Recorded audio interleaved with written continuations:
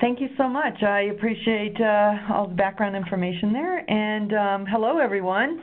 I want to welcome you to Addressing Project Change Without Pain. Uh, thank you for attending this webinar. Throughout the session, I'm going to present diagrams and models from my two books that I mentioned before um, that can be used on any project throughout the life cycle of the, of the system. So in particular, I'm going to focus on a set of processes that are complementary between um, the project management and the systems engineering disciplines. If you are unfamiliar with either of the disciplines, um, that's not going to be a significant hindrance to understanding the methods that will be presented here. So I hope you find the materials that are presented to be helpful to you. And so during, um, during this seminar, this webinar, I will present um, this integrated approach uh, to lifecycle management of a system.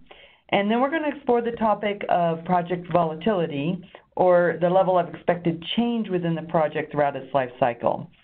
We're also going to review techniques used to establish trajectories and baselines, which will be used to measure change and then uh, a, dis a, discussion of the measurements that can be applied is discussed after that. Governance activities um, are those activities which are used to manage change effectively, and we're going to review the most common activities that can effectively manage change. And then finally, in this session, strategies that will help ensure successful change management during the execution of the project will be discussed. So let's start now with a focus on the project life cycle. A life cycle is an end-to-end -end look or systemic view of how an activity evolves over time. It can be used to facilitate uh, decisions on when to invest in new technology that will either replace or rejuvenate that existing capability. And it has phases that provide structure and focus. So I have two diagrams here on the slide. The diagram on the left demonstrates a strategic plan and initiatives feeding into a portfolio of activities. And within that portfolio, this particular one, as it's described here, there's a program, a project, some strategic R&D activities. In this particular example, the program also has elements of a project to incrementally improve operations processes, and uh, an upgrade project that's utilizing both traditional and agile project management, and some R&D um, inclusive of basic research and spiral development. So from this perspective, I'm demonstrating the life cycle as a um, cumulative view of all activities from the earliest research and development to a later phase um, operations upgrades. So the right side diagram provides a model to assess where a project might fall and the technical challenge and expected performance timeframes that would likely be affected. So for example, a project with significant technical challenges with an expected longer performance timeframe would likely include elements that departed from existing capability and were inclusive of research and development. Having a background on the structures surrounding the activity and a perspective on what is driving the initiatives and what outcomes are uh, designed from the activity will help provide the context for project structure, which we're going to talk about later. So, um, so I want to point out emphatically that change is not something to be avoided uh, in a project. It's a natural byproduct of evolution. So change is going to occur in any project and in every project that you do. What we want to talk about here is the objective to anticipate the level of change and to plan accordingly so that you can be adaptive and, and be methodical about it so that you're not surprised by change, but that you can plan for the change. Uh, the earlier in the life cycle phase that a project is in, the more change you're going to be able to, you know, you're going to expect from that um, activity, and the more change should be accommodated. So rigor is you're you're not going to want um, the same level of rigor in an earlier project that you would as that project proceeds through its life cycle. So now, um, the later in the life cycle, the less change should be anticipated or expected but the change will occur. The question is, can you manage that change so that you can minimize the impact to cost and schedule, which is, is really going to be important because it takes more money and time later in the life cycle to resolve issues. So you want to resolve those issues as early as you can. So the next thing um, I want to show you is this continuum of a project lifecycle. I've got three different models here.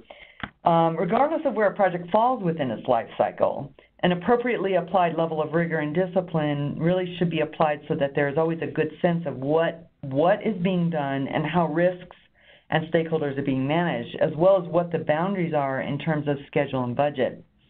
The only time that's not true is when you have unlimited funds and unlimited time, which, um, you, you, know, if you have that, um, you're unique, I think, because most of us are bound by the amount of money that we have and the amount of time that we have to do our projects.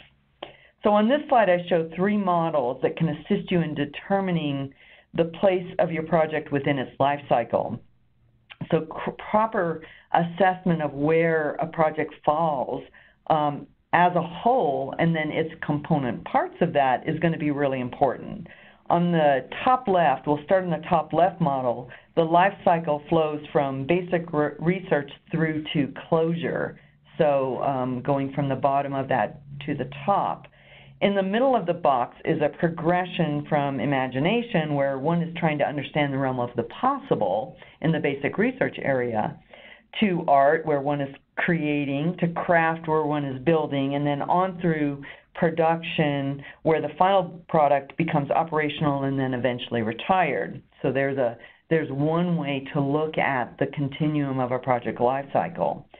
Um, if you look at the right box, uh, the right top of the slide in that box, this model focuses on additional considerations to help determine how early or late in the research and development process the project falls.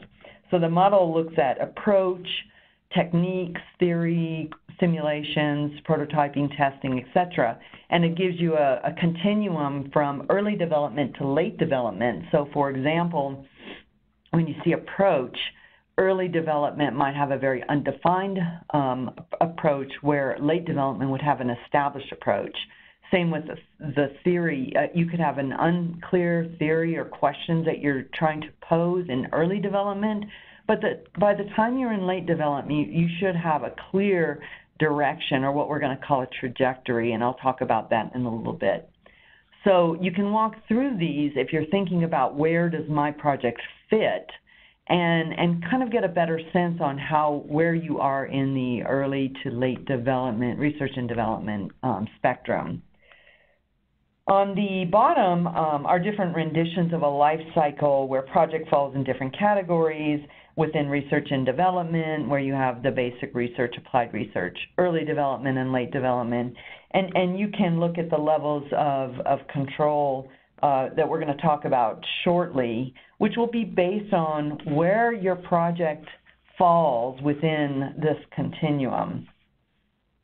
So I want to I want to just reiterate, you know, we're not looking at Hi there. I hope you enjoyed that last clip. My name is Michael Milutis, and if you'd like to watch the full 60 minutes of that last webcast, while also gaining complete unlimited access to our entire library of IT learning, simply visit our subscribe page at greatpro.org slash subscribe. Unlimited annual access is $199 per year, but if you use the coupon code LEARN to earn, you can drop that membership fee to just $149. That's less than $13 per month for unlimited access to over a thousand hours of on-demand career development, covering the entire spectrum of IT management best practices, including business analysis and requirements, software development, quality and testing, risk management, process improvement, project management, and even digital transformation. But your membership doesn't just give you unlimited access to our vast learning library. You also get free access to our mobile app as well as direct access to our network of over 300 of the world's leading IT consultants, all of whom are dedicated to putting practical knowledge at your fingertips so that you can learn more and earn more.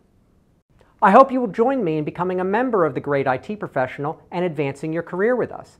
And if you're on YouTube, don't forget to hit that subscribe button above so that you get notified whenever we publish new free webcasts each week of the year. Thank you for your time and best wishes for your continued success.